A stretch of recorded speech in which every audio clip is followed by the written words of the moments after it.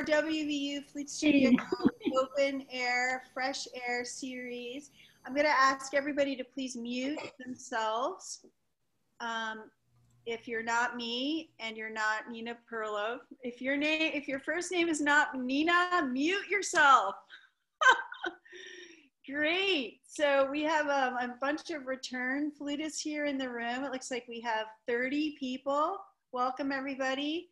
Um, and just to kind of say, um, you know, our studio is running. We we have studio classes every Tuesday and Thursday from three to four. We run. Um, that's a normal thing, not just a privilege thing. And if you are um, on Facebook and look at our schedule, you'll see all of the dates of exactly who's coming when uh, this semester, and they're all free and open to the public, and they're all on this Zoom link. So once you have the link, which you do because you're here, you can just keep popping in. And a number of these will be placed on our YouTube channel and kind of eventually on Facebook, maybe Dustin, right? We're not sure yet. But um, so if there's, you know, if you want to kind of keep your eyes open for that, you can check out our channel. So I'd like to welcome Nina Perlove, who I've been following for years, and I'm so grateful that she's with us today. And we're going to uh, have a master class where each student, we have three students who are going to play for work with um, Nina Perlove for 20 minutes each. And then we're going to have a Q&A at the end. And it, I'm very excited specifically about this Q&A because um, Nina is sort of a, I think, a famous entrepreneur in the music world. She was one of the first YouTube active flutists and musicians. And so we're really lucky to have um, her to speak with and gather wisdom and advice from. So that's what we'll sort of focus the Q&A on. Um, so I'm going to turn it over to Nina just to say a few words about yourself, who you studied with, um, where you're from, you know, I don't know, a couple things, and then Dustin will start the series with the, the lineup of the students. Great. Well, thank you so much for having me here. I'm really happy to be here on Zoom, of course. Uh, my background, so I grew up in Ann Arbor, Michigan, and I started studying with the flute professor at the University of Michigan while I was still in high school. That was Keith Bryan. Um, and so then I went to the University of Michigan, which is an amazing school of music, and I got a Bachelor of Music degree from the University of Michigan. And then I was really fortunate. Um, in the summers when I was in college, I went to a summer music institute in Quebec, Canada called Domaine Forget, which had uh, several flute teachers from France would come into this uh, festival. So I would go for two weeks every summer, practice my French and study flute with amazing flute teachers. And one of the flute teachers there was Alain Marion, who I hope you all recognize that name. If you don't, pretend that you do and then immediately go out and Google him and listen to his recordings. And um, he was the lead professor at the Paris Conservatory, the Paris Conservatory, you know, T H E, like the one. Um, and he invited me, he said, You should come to France and study with me. So I finished my undergraduate degree because finishing college is very important. And then uh, I had a Fulbright scholarship and I went and studied in Paris with um, several amazing French flutists, including Alain Marion, and I stayed there for two years. Then I came back to the United States and got a master's and a doctorate in flute performance with a, a subspecialty in the history of American music at the University of Cincinnati Conservatory of Music. And I ended up staying in the Cincinnati area after I graduated uh, got married, have a family, and have made this my home. And um, at some point between point A of graduating with a doctorate and where I am now, um, this new thing was invented called YouTube. Um, some of you are so young, you may not remember a world without YouTube. But um, in about 2007, it was very, very new. And I started putting up flute videos on this free resource and people much to my surprise started watching them and following them and so it was an amazing opportunity for me to connect with flutists around the world and i've sort of built that whole video blogger thing into my musical life and here i am Yay! and I remember seeing you on YouTube. Actually, I rem- I have to just put this in here. I remember the first time that somebody said to me, "Do you know what YouTube is?" And I was like, "No, what is that?" And they were like, "Well, it's like television on the internet, like YouTube." And I was like, and he's like, "Yeah, there's this beatbox flute player doing Mario something." And so he sent me a link, and it was, of course, Greg Pattillo. Of course. And I was like, what is this thing called YouTube? And then I found you, and now Another Nina, right? Because you probably were like, what? She has my name. yeah. So, so uh, it's really amazing. And if you don't know Nina's channel, go check it out. It's it's like amazing, amazing, amazing, and so many. I'm always sending students, especially high school students, for all your amazing tutorials on just the beginnings of every kind of you know technique and stuff. So. Okay, so I think we're ready, Dustin, for you to launch us. And Dustin will give you the five minute warning, Nina. Is that a good amount of time? Oh, yeah. Please don't hesitate to interrupt me and be like, you're losing track of time. We need to move on. Okay. Um, what would you like to start with? Do you have a preference, or um, we can just go in order? I don't have a preference. It's it's up to the students and who who's ready to go. Okay, great. I guess we'll start with um, Sammy. So I'll play just a little bit of her uh, Ibert. Awesome.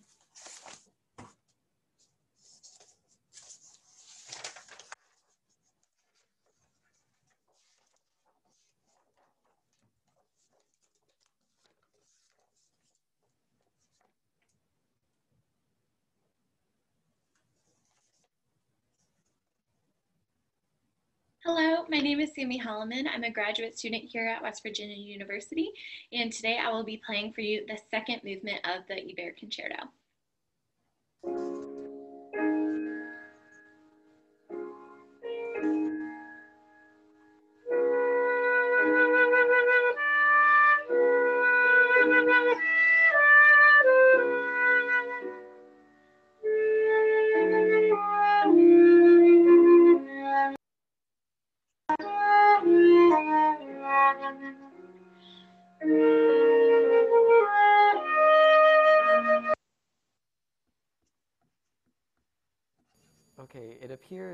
Seeing in the chat that we're having we're running into a problem that some people cannot hear still.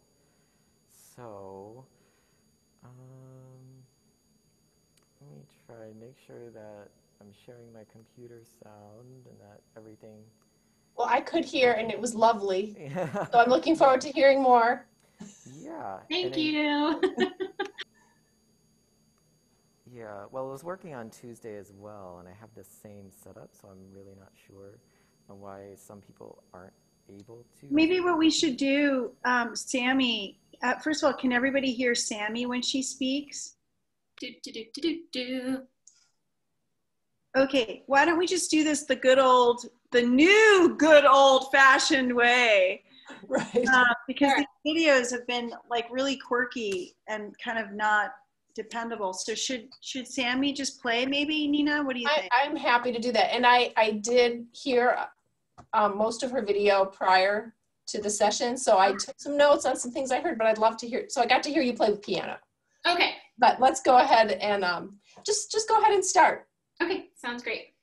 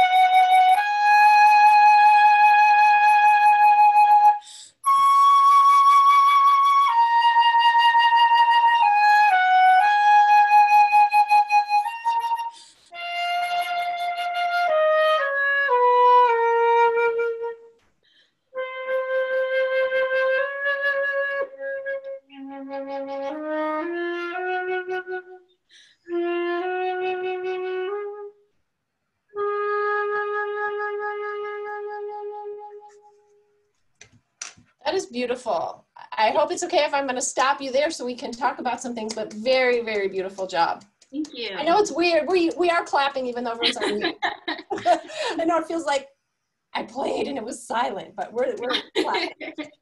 Um, so first of all, I really liked your sense of line. Um, really nice phrases and lines and connections. Um, I'm going to teach you a trick that Okay. I learned in Paris.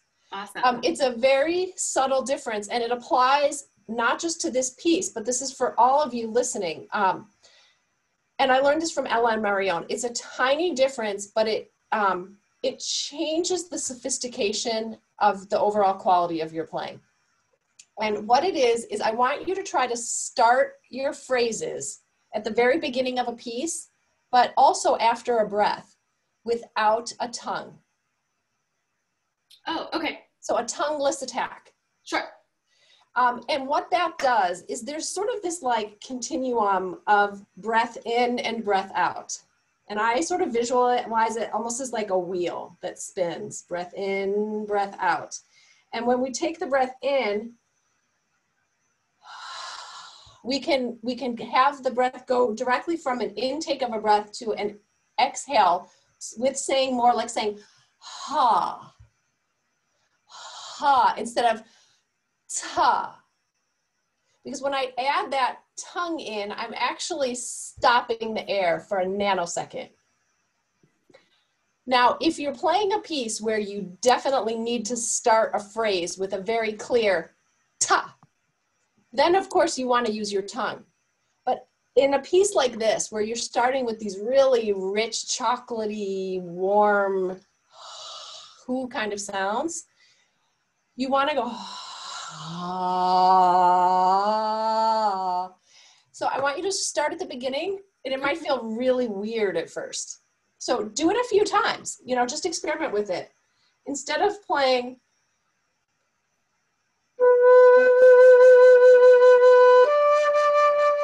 as your first two notes, play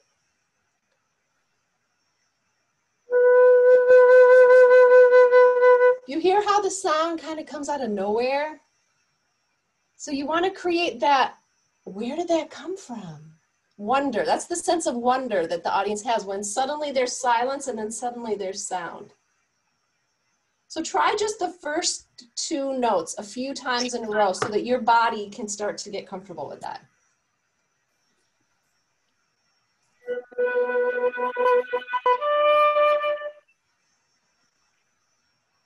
Now,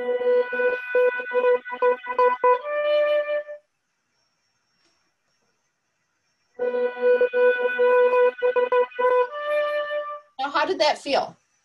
It felt great. I do have a question for you. I'm noticing the, the first time it didn't happen.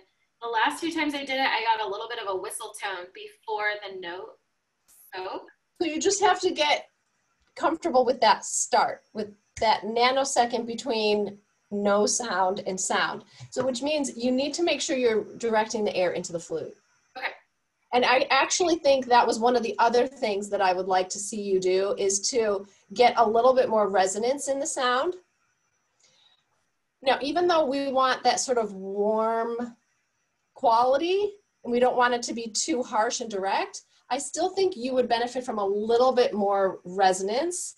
And um, you can try moving the flute lower on your chin like a, a millimeter. But really, what you need to do is you need to make sure the air is going inside that little thing right there. And I think that having a whistle tone before is just telling me that the air is directed a little too high. So if you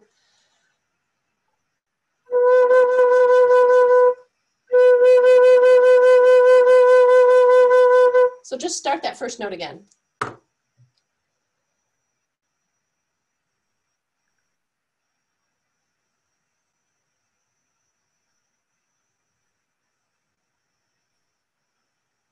Go ahead. I'm not hearing you. Did you play? Uh-oh. Has everybody's sound gone out? Hello? That's very weird.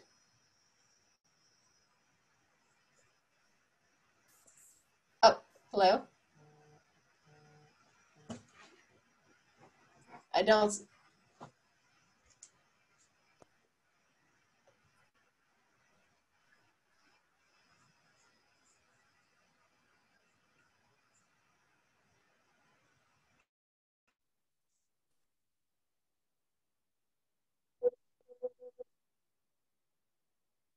Is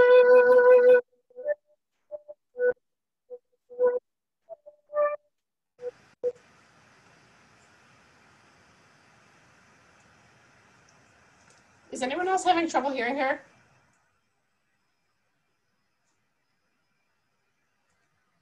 Hmm.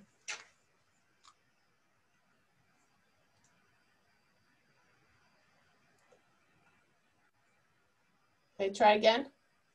I'm trying to change my. Hello? I do not know why I'm not hearing anybody anymore. Hello, hello. No, I cannot hear you, Nina.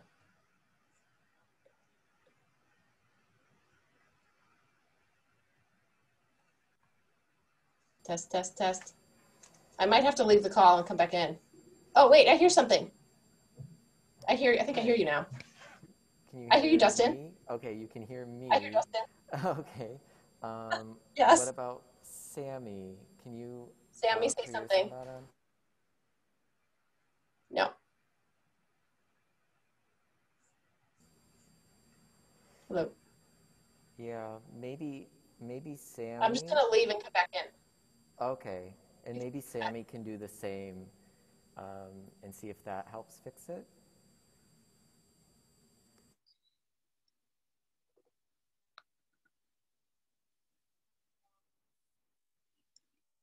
So what, what countries do we have here? I know we have Slovenia. Hi, Tina. Do we have Argentina? Hi. Hi, so sorry. yes, I am from Argentina. Thank you so much. Uh, the the sounds cut. There are moments that cut the sound. I cannot. There are a mark, a yellow mark. I hear you now. So I think I Okay. can you guys hear me now? Yes, now. I think the problem was there was like white sound happening. So anytime your box is highlighted as yellow, you're not going to be able to hear the other person. I think that's what happened. Oh, interesting. Okay, I I can hear now. Nina, Okay. Can you say something? Shall we try it again?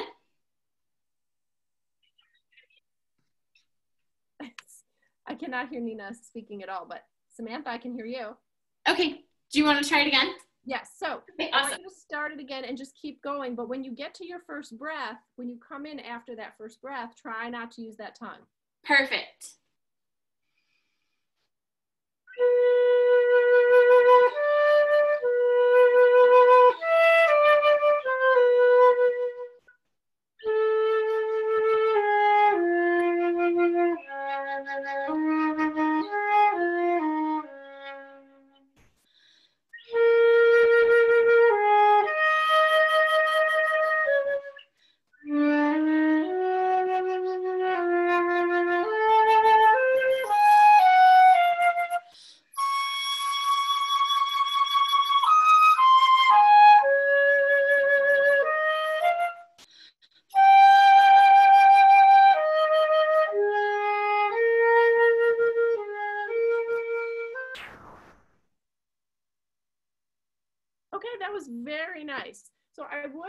To um, go two measures before 25. Okay. And I'd like you to make sure, really think about this concept of getting your air through um, the flute by angling it down. But rather than thinking of just angling it straight down, which I sort of feel like is um, like a dead angle, because what we want to do is we want the whole flute flute to resonate. Right. We want to use every bit of metal to, to, for the molecules to vibrate and make sound waves so that we're using this whole instrument, right? So if I just angle straight down, I get a sound, and I don't know if this will translate over Zoom. It's fine, but if I really push it through, what I do is I angle it a tiny bit to the crown. I angle it down into the crown with enough energy that it bounces back out, like a ping pong ball.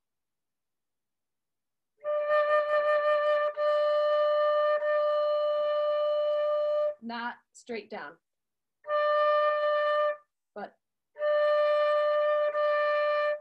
so can you start with these low D, which is already not our favorite note?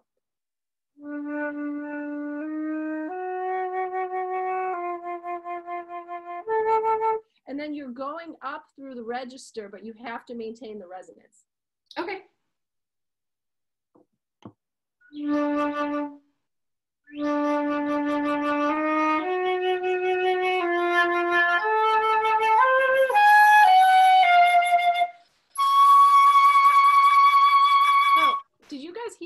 how lovely that sounded? Those first two measures, it was a nice improvement. Now, when we get to that D flat, that's a tricky note. We don't want to have any whistle Okay. in the tone quality there. So I, I think you're getting that whistle because your angle is too out here. So you need to hold it.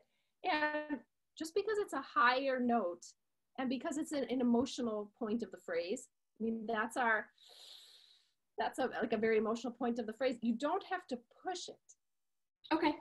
We always think, oh, it's loud, it's high, it's emotional, we push.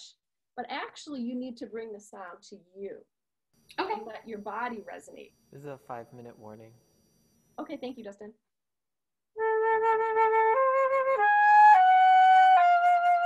Then bring it in. I'm feeling it here, not out here, not.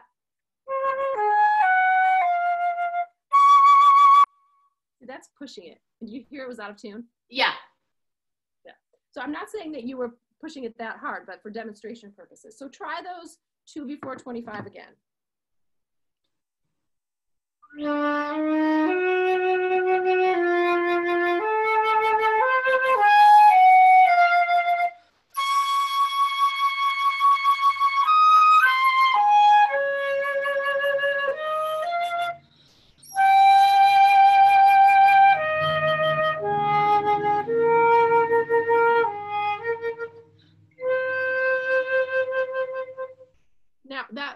Much better to me. Yeah, it felt a lot better. Quality. So keep working on that. Okay. Um, I'm not really in love with your choice of breaths in these measures after 25. Okay. Um, I, if possible, if you can make it to the bar, the bar line that's one two, after 25, one, two, three, four, between the fifth and sixth, one, two, three, between the fourth and fifth measure. But that means you're going to have to go a little farther. You're going to have to, you can breathe before, let's see.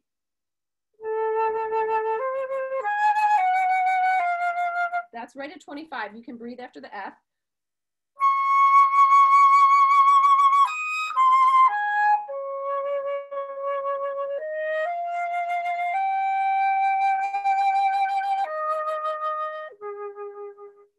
I, I think it's okay to breathe on that bar line. You- Okay. You, took a breath a measure and a half before that after the F, between the F and the G.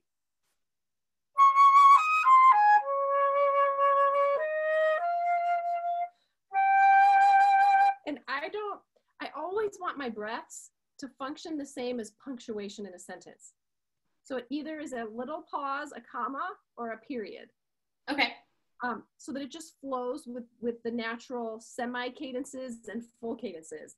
Um, so I would like that breath better. And then don't breathe before the C in the measure or two later.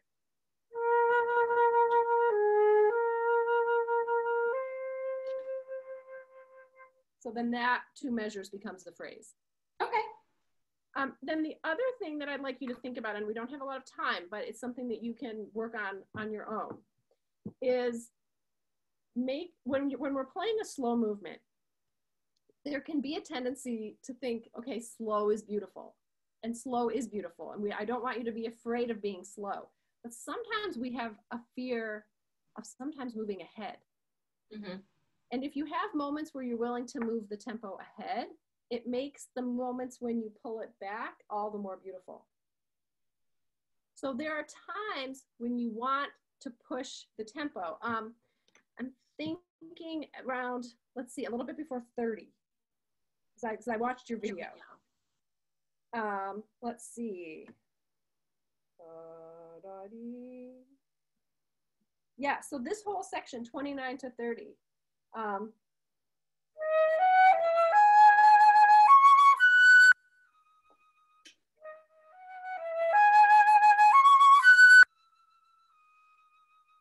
and here.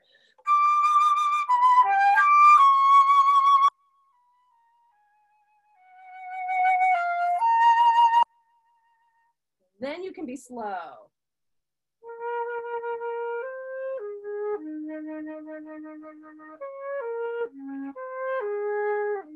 So if you push it a little bit right before that, then you have this magical change right before 30.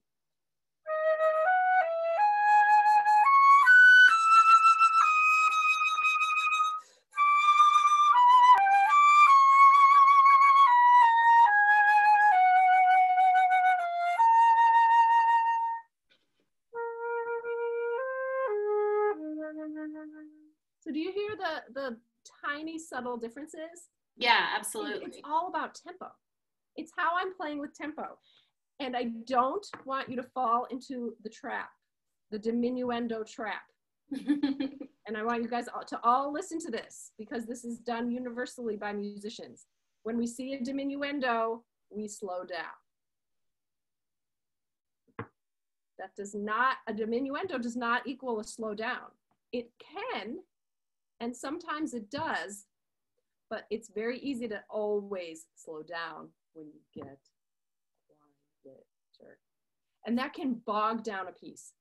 It can be a death sentence for a piece it, because every time you have a diminuendo, you get slower, and then the next phrase is slower. And then there's another diminuendo. And by the end, you're at like a really much slower tempo than you realized. And you don't know how you got there. So sometimes it's dramatic to diminuendo and speed up and that is hard to do because your instincts are telling you to slow down but actually it's very dramatic sometimes to push through and get softer but you're still moving even you're getting quieter you're getting faster. So I, I think you um, are off to a great start on this and you have a good handle on it and these are just going to be the nuances that you can play with. Awesome. Thank you so much. I really appreciate it. Of course. My pleasure. Great. thank you for playing for us today.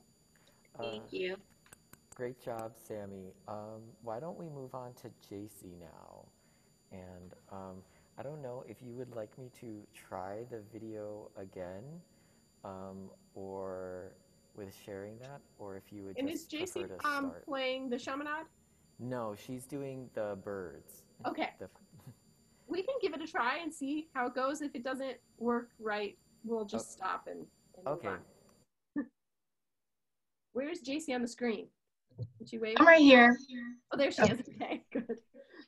Um, Dustin, as you're um, working the time, I think Katie and I probably need about 15 minutes instead of 20 since Nathan needs the room right at 4.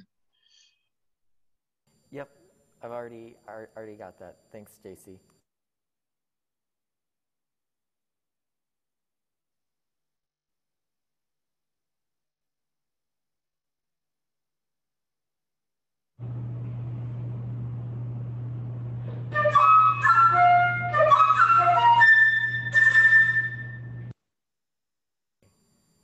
I'm going to stop it right there. Um, that works. Could everyone hear it?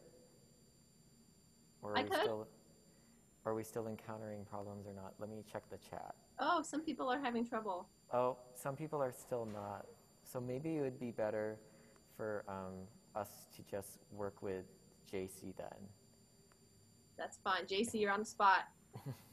Nothing like having to be flexible, right? Do you want me to start with the first one or do you want me to jump to one of the others that was in the video? No, let's go. We can start with the first one. I, and I have to tell everybody, I have never played this piece. So um, I, I think it's really cool. Um, but when I demonstrate it, I'm not going to have all the notes. Okay. Either.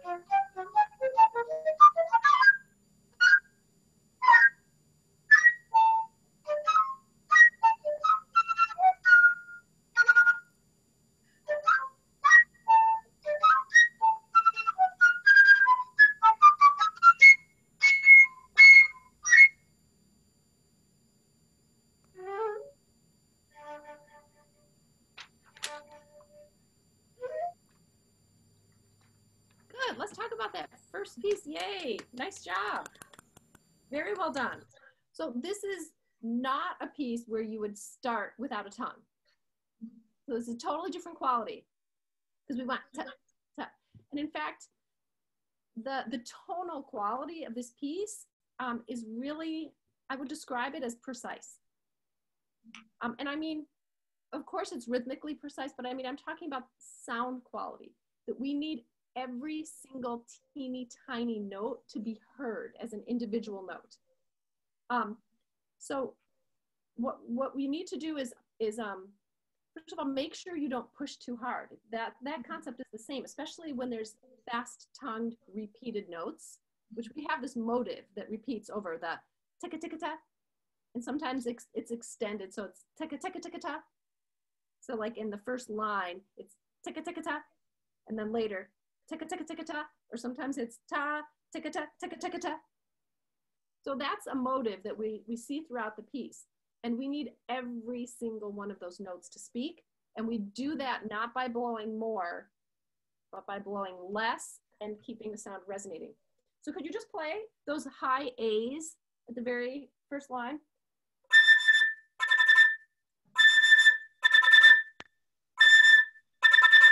And even though it crescendos and there's a double forte, you do not want to overblow because it will just go sharp. We don't want that. Can I hear those? Da, ticka, ticka, da. Yeah. Da, That's right. And remember that the emphasis is on um, ta, ticka, taka, ta, ta, ticka, ticka, ta. I don't want you to overdo it, but rhythmically, that's the grouping.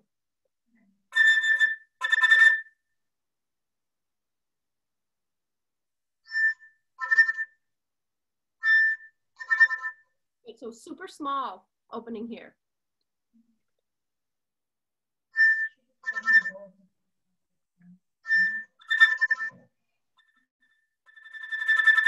Can you just do that for me?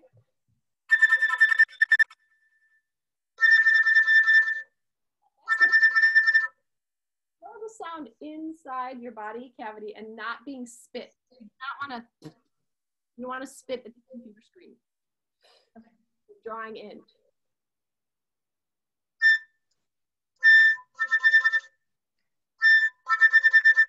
That was getting there. Did you hear that? Did you hear when they pop? Ticka, ticka, ticka. Yeah. So that's something to practice. Um, the other thing that I think is kind of cool and interesting about a piece like this is we're really going for this mood and quality of improvisation and spontaneity. Mhm. So one thing that you can do to help create that is to make sure that your breaths are in the mood and the character of what comes after. Okay. And this goes for all types of music. It goes for the Ibert, that we the second movement of Ibert. So when you're playing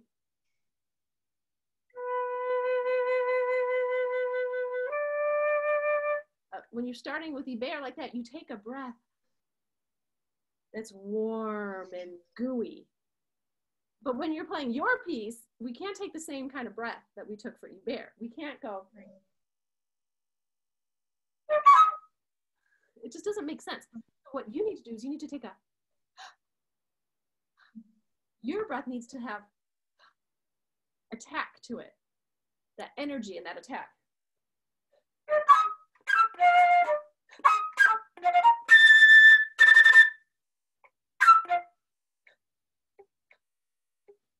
So can you try that? It might, again, it might feel really weird, and so just experiment with it. Okay.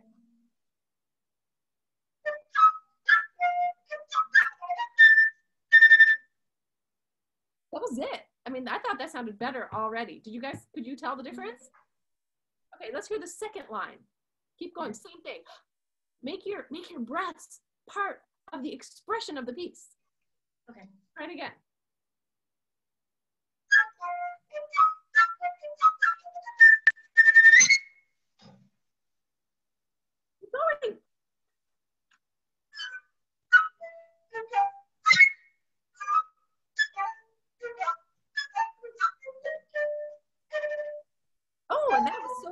Hear that? Ticka ticka tock.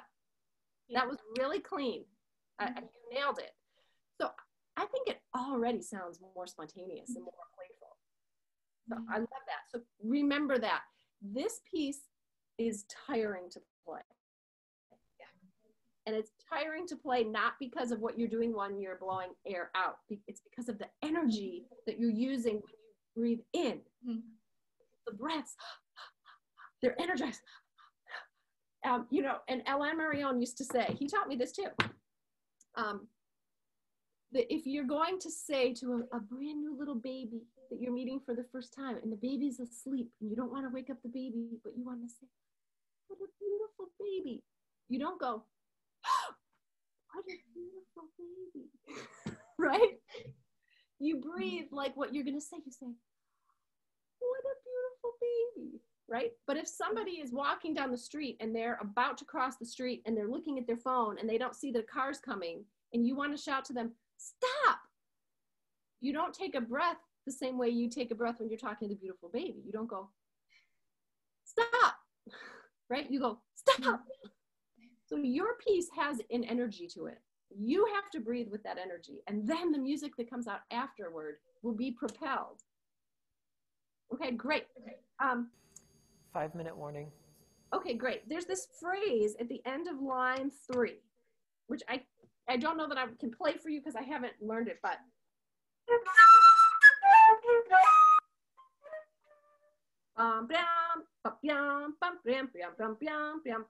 I hear a rocking quality that's trying to get out.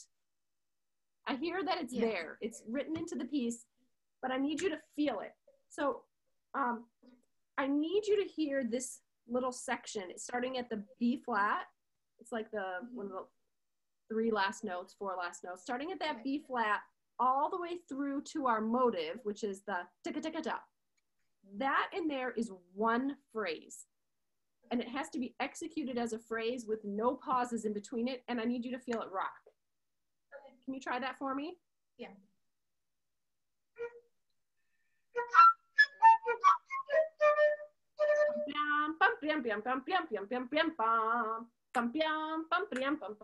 It's very Stravinsky-like. Okay. Bam, bum, bam, bum, bam, bam, bam, bam. So try. You can go, and if that's an awkward place for you to start, then go a little bit before it. Just find a place that's comfortable for you.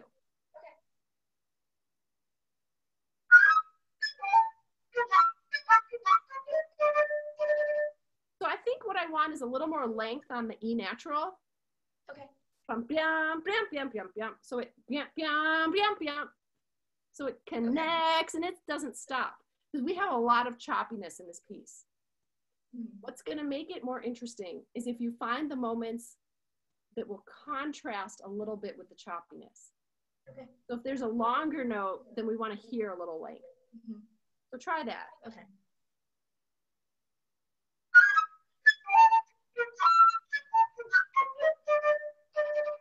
Yep, that's getting there. That's getting there. I like that mm. better. Now, this next little group of notes,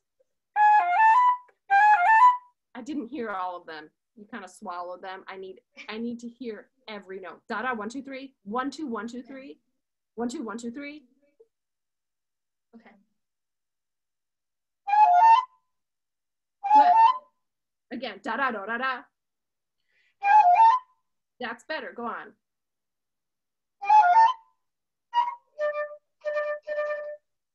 Good. In this space here, I also want to hear some moments where the notes are connected and not separated. So instead of see all the choppiness? Yeah. So the C goes immediately to the D. And then the D. Try that. Da, da, da, da, da, da, da. Oh, you can even give a vibrato on that D. Da, da. That'll really mix things up. Okay.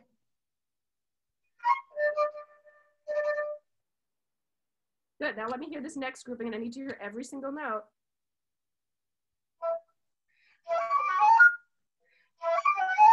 Okay. You need to think one, two, one, two, one, two, one. One, two, one, two, one, two, one. One, two, one, two, one, two, one. Try that.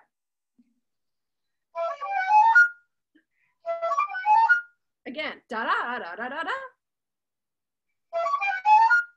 Yeah, so the interval, much better already. The interval from the C sharp to the G is a tricky drop. But you have to be ready to grab that G. Da da da da da da da. Let me hear that little group again.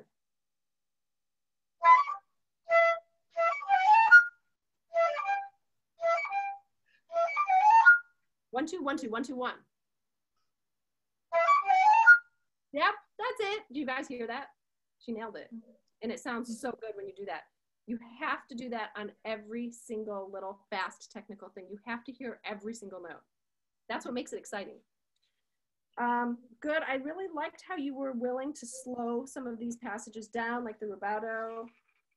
Um, you did some really beautiful um, diminuendos. Let's look at, I have a little trick for the very last note. Let me see this again. Because um, you wanted to get softer. You've got that diminuendo to double piano, but you still wanted to speak. So one thing you can try is when you when you hit the F, very, very slightly pull the flute to your right while you sort of pull your lips a tiny millimeter to your left. So they go apart from each other.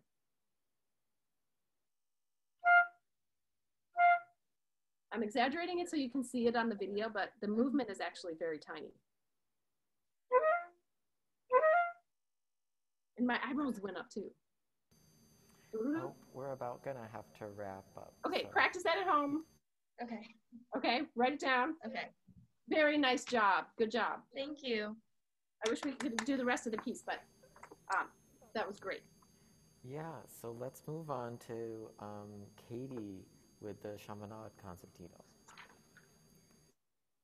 And where are you? Wave to me. I'm Oh, here. there you are. Thank you. I'm, I'm looking at all the squares. So do you want to just go ahead and start it instead of um, doing the video? We can just. Sure.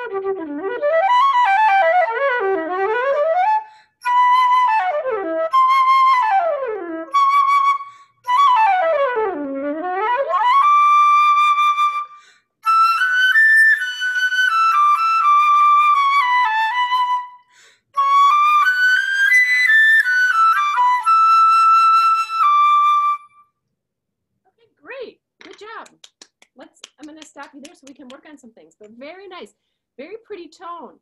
You're getting some Thank you. very nice um, reverb and echo in your room. Are you in a bathroom? Oh, I'm in a really big room with tile Oh. floor and cinder block and windows. Oh, well, it sounds great. um, and so very, very pretty tone. I like what I'm hearing.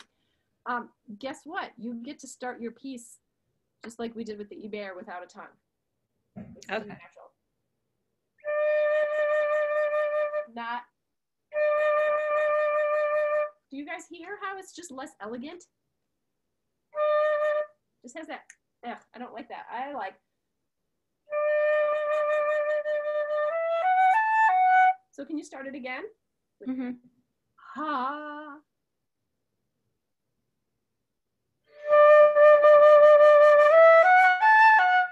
Yep, that was it. That was much better. So start to get used to that and experiment with that in your playing. Um, I noticed that when you take a breath, you lose a tiny bit of time Okay. every single time. So practicing it with the metronome will start to train you to not lose any time. But you're gonna, because you're used to it, you may have to feel like you're jumping in a little bit early after the breath, just because you've sort of trained yourself to jump in a little late. Okay. So I want you to start it again. And when you take a breath, after the breath, I want you to come in what feels to you like a nanosecond too soon. So because like we've got this first breath.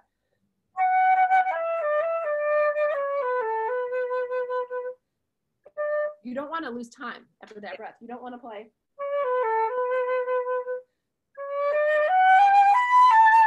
It's impercep- it's very slight, but you want to keep that heartbeat, the pulse, moving. Okay.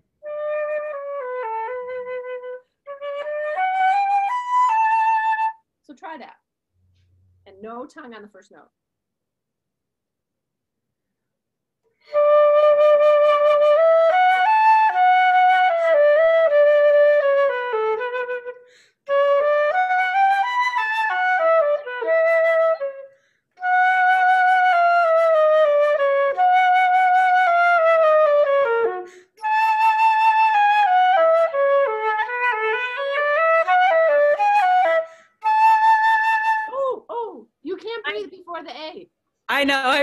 Shouldn't have.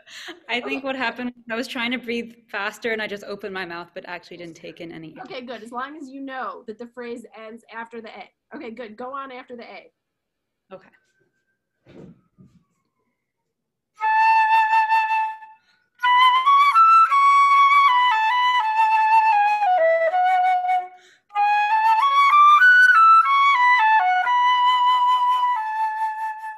Okay, now this is a teeny tiny detail, but at measure five, when you have the eighth notes, you're rushing them a little bit, and you're Okay. doing it again two measures before uh, measure 13, Okay. not eighth notes. So da da dee da dee da dee da dee da da.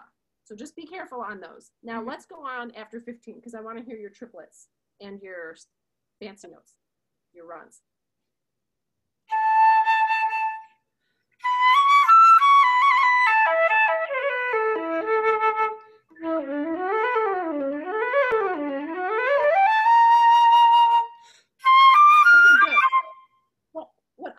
To do with this triplet section, um, first of all, I take that pianissimo more seriously, Okay. which also means in order to create um, a, a dynamic change there and a color change, I don't take the diminuendo before it as quite as seriously. So I finish my phrase with a little bit more presence, but then I suddenly take it down for that B natural. Okay. because I like the contrast there. Um, so.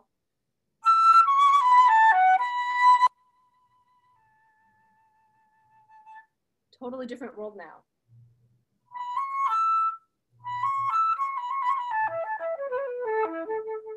So we have this big, this big, lush, wide, expansive.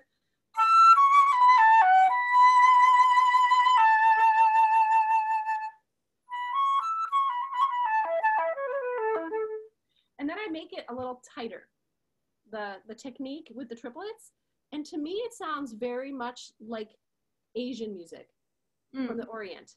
which was uh, in this time period, there was a lot of interest in um, exoticism hmm and in music from the Orient. And it sounds very much like da dee dum dee da dum. It sounds like um, Asian string instruments. Have you ever heard some of the Mhm. different Chinese string instruments?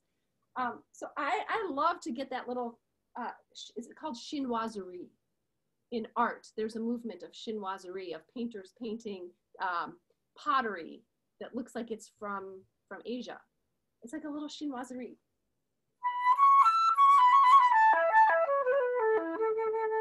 just for that measure. And then it kind of goes back to the European world. And I need to hear every single note. So I'm to listen for groupings. Okay. One, two, three, four, one, two, three, or one, two, three, one, two, three, four. I need to hear it. So try going back to the big phrase before 15 and then do something different. Okay.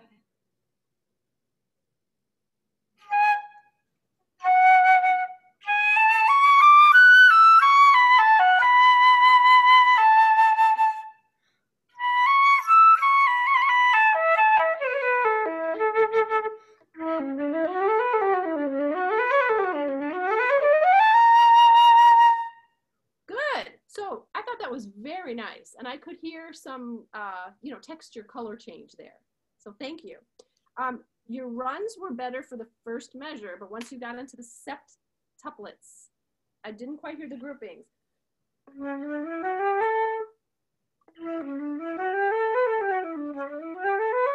One, two, three, four, one, two, three, or one, two, three, one, two, three, four.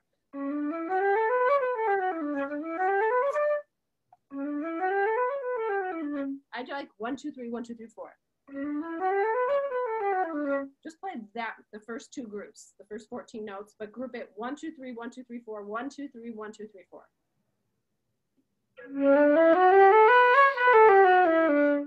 Good. Again. Right. Again, tight at that tempo. One, two, three, one, two, three, four, one, two, it- one, two, three, four, one. That's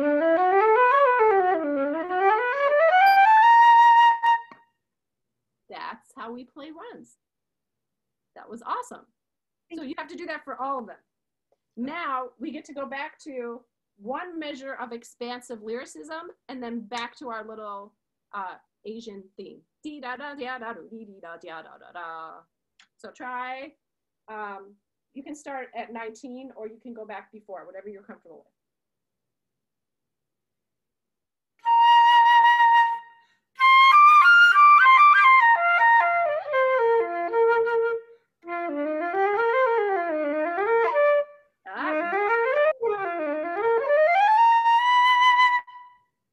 I need to hear one, two, three. Uh,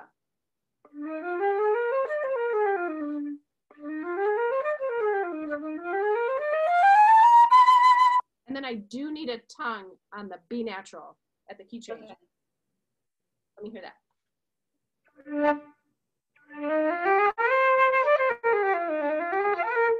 Sorry.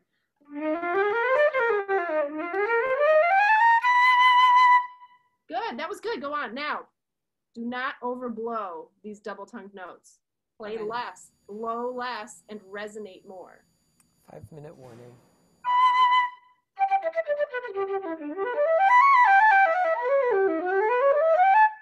Yes, that was good. So I could hear those articulated notes better.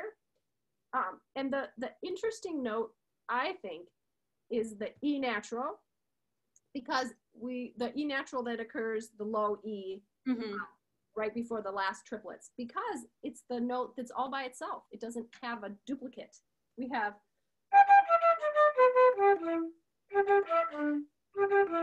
da da da da. So you want to make sure that people hear that the pattern has changed. It's not. So it's.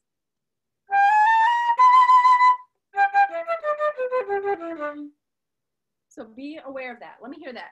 Kata, kata, kata, kata, kata.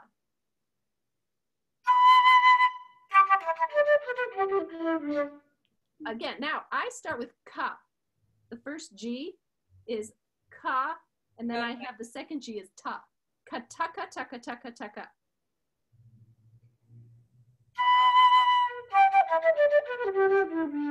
Good. Don't overblow. One more time.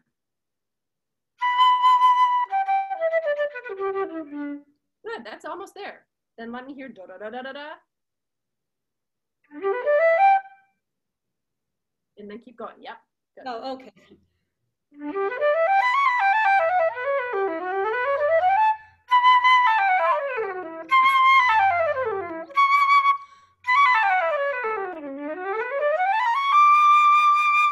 Good. Now make sure I'm hearing one, two, three, four, one, two, three, four, one, two, three, four, one, two, three, four, one, two. I'm, I'm really thinking of fours when I play this.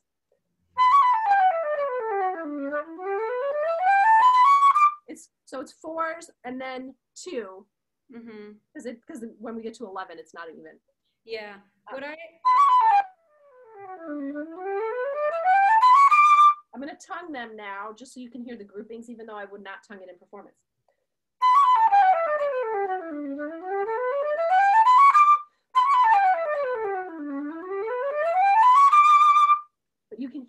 Can hear the groupings and that's what keeps it locked in. okay. I'll try it and then I think we might be out of time.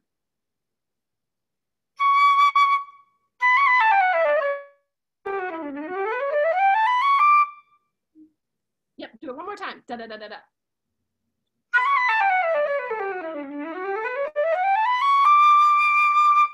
Yay! That was it.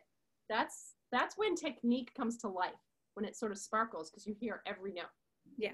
You have to hold yourself to that standard. And it's uh, for all of us. Now I'm just not talking to you. I'm talking to the whole class. That's the hard work that we have to put in to sound like a virtuoso. That that those that sound of a virtuoso is not mush.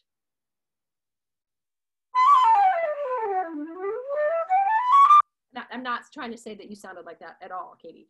Um, but I'm just saying I've judged many competitions. I've been on many juries. When people or, or have students who come to me who say, "I can play the Carmen Fantasy," and they come and they play and they play like 15% of the notes or 20% of the notes, and I say, "You did not play the Carmen Fantasy. You thought you were playing the Carmen Fantasy. You convinced yourself you were playing the Carmen Fantasy, but you played 20% of it.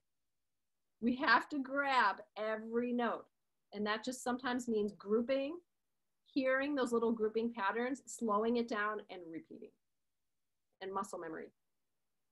Um, but then when it works, it just sounds so virtuosic.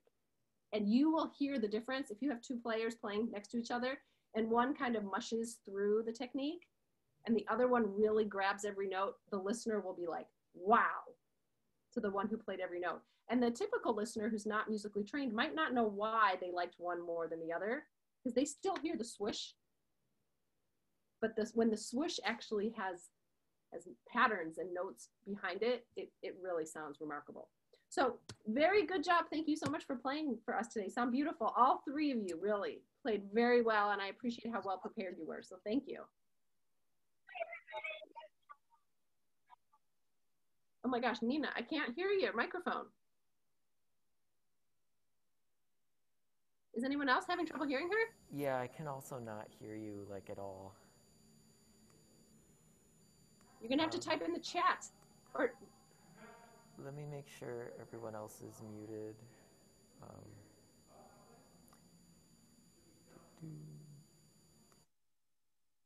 So much beautiful class. Thank you. thank you so much. I hope you enjoyed it.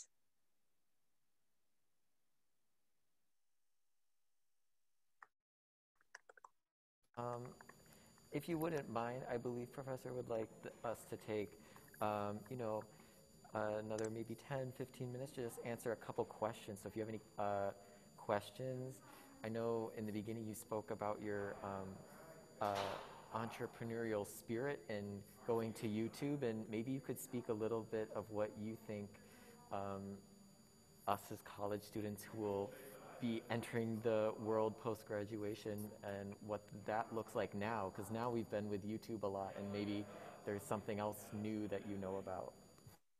Yeah, well, um, one thing that I can definitely tell you is that I sort of came out of my training.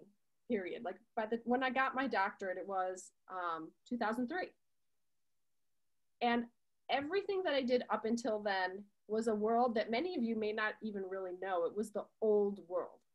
There was barely an internet. The internet was relatively new. The internet sort of came about when I was a doctoral student, not even an undergrad.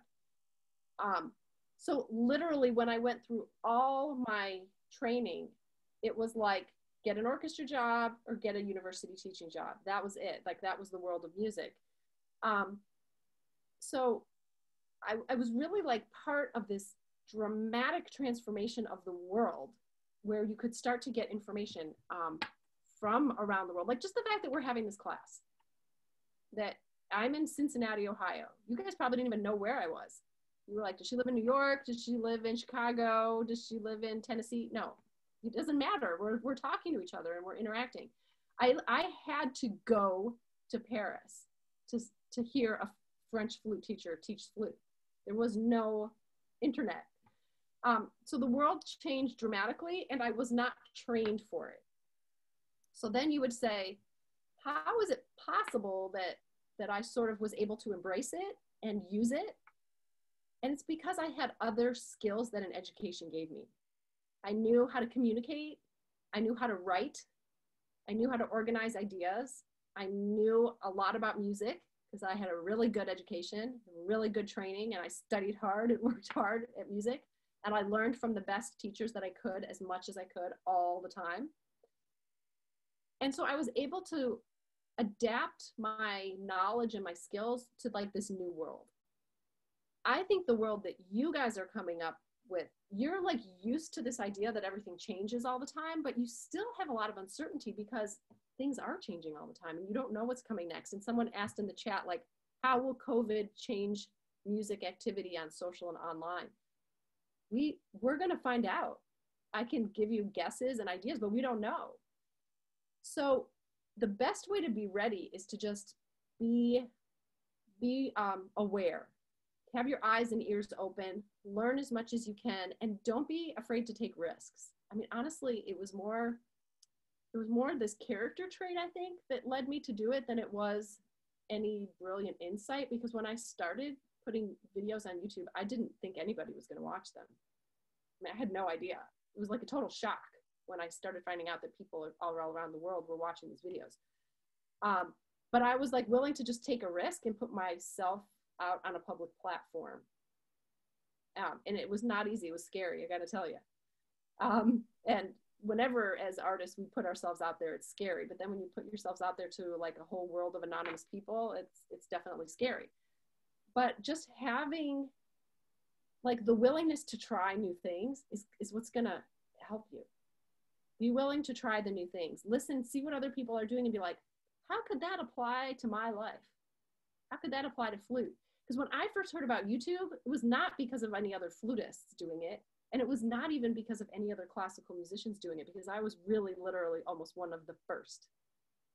It was because rock guitarists were obsessed with YouTube. And I read this article in the New York Times about how rock and roll guitarists were sharing these videos that they made in their bedrooms of their playing. And I was like, that is so cool. Well, I could do that at, with a flute. So I did it as a flute. So just like absorb everything around you. And when you see something that is interesting or cool even if it's not in your own field think about how could i try that or adapt it or apply it? And then don't be afraid to try something and if it fails it fails. Um, but just being open to those experiences um, i think will be helpful. Yeah, juan has a question. Um, he asks in which ways have you found that your social media presence has offered you opportunities in the quote real world? And also, what factors do you think uh, uh, led to your growth of your platform? Those are really good questions. Um, so, first, what factors led to the growth of my platform? Um, it was really different back then than it is now. So, I can tell you my stories, and they're very interesting stories, but they're already almost historical because you can't really replicate it anymore. Um, when I first started on YouTube, first of all, I was one of the only flutists on YouTube. James Galway had a couple recorded videos. Um, and that, and the, a woman named Jennifer Cluff, who also had really good videos, was, was on. And that was it. We were the only ones. So when I started doing it, back then the algorithms were different. So it was much easier to get picked up by the algorithm on YouTube and get your stuff spread out. Nowadays, it's much harder because YouTube, the algorithm is finding like tens of thousands of flute videos are getting uploaded every day. And there's just so much out there that now also, um, I hate to say it, but I think YouTube wants you to buy advertise. They want you to pay to get visibility. Back when I started, I was lucky. It was like, they were like, oh, there's a flutist. She's the only one. We'll put her all, you know, we'll promote her. If somebody else puts in the keyword flute, she pops up. That was it. You put in the word flute, I popped up. So um, it was it was different. And then it also because there was this um, there was no other source of information. It was like what I said. People all over the world were getting the information, and people in parts of the world who don't have access to that many teachers who wanted to learn about the flute and hear about the flute. It, it might be hard for some of you to even imagine a world where like if you used to want to know something about a topic, we and Nina, you probably remember this, we used to have to go to this place called the library. And we used to have to be like, who won the Academy Award in 1963? I don't know. I guess I'll go downtown and ride the bus to the library and I'll go to the card catalog and I'll find a book that has the list of all the Academy Award winners for the past 50 years. Okay. Anytime we wanted information, it was like a big process. Now you can type it in. So people were, I mean, I got messages from literally all over the world. I got a message from a woman who was a nun in the Philippines in a, in a, a convent where she was not allowed to leave. So she had no contact with an actual flute teacher, but she was allowed to, they, they had computer access and she wanted to learn how to play the flute and she found my videos because she could type it in. So that really, just being the first was a huge benefit. It really spread. Um, the other thing is that I, oh, Nina wrote, card catalog was traumatizing. it was a different world. We lived in a totally different world. Um, and so the opportunities that it gave me is that it gave me an opportunity to really share my ideas. And I had studied with many of the best flutists in the world. I had wonderful teachers, and I was able to spread what I learned. And I felt like it was an obligation, like to pass it on. Like I actually was lucky enough to study with this person, so I should share that information. Um, and that, because it was sort of different information, it spread and people started talking about it. And I put up some controversial topics, um, topics on like things that make flutists argue with each other, like vibrato and breathing, you know, things that make people really ah, I can't believe she said that. And some of the things I said people disagreed with um, and were really mad about. And because of that, it went viral. So, you know how they say no bad publicity, there's no bad publicity, it's all good publicity? That's kind of what happened to some of my, my early videos. It was hard for me at the time because people were criticizing what I said. But then other people were like, well, you know, I tried it and it actually helped my playing. So that's kind of how it went viral and how it uh, impacted me in the real world is that I started getting real performance opportunities, real teaching jobs, um, the ability to travel and meet other flutists and do concerts and um, and then to do online teaching as well because people from around the world like i said who didn't have access to teachers in their hometown found out about me and then asked me. And from those individual lessons i was able to charge and um, get real world opportunities yeah, so I think we have time for maybe one more question. I see one just came in from Ethan. He asks, do you have any advice for learning a language? You mentioned you were a Fulbright scholar and studied in Paris, especially in the US when you aren't getting the exposure you would from studying in a foreign country. So um, in my case, um, I took high school French and I liked languages. So I kind of thought it was fun. But the real uh, way that I got the experience was when I went to that summer program in Quebec, Canada.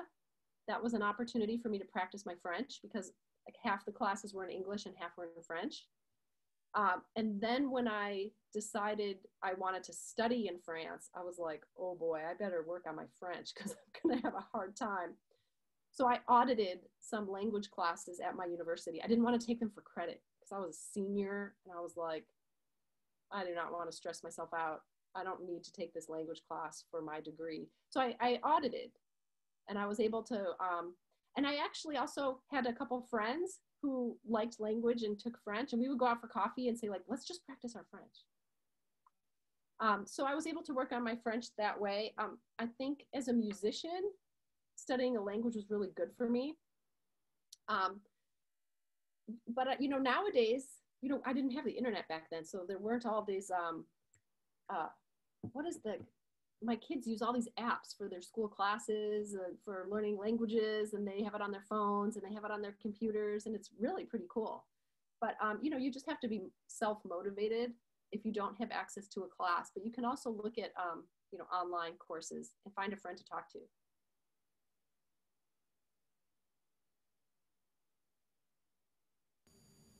Okay, well, I don't see um, any other questions coming in the chat, so it is about time to wrap up.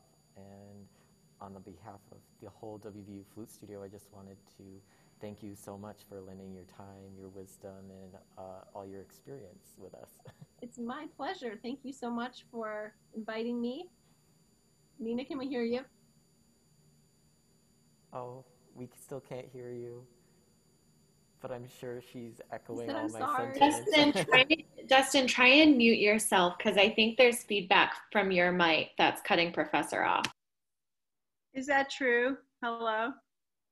Wow, Sammy, you figured it out. So how does that work? If, if two people are unmuted and one has feedback, then a third can't jump in?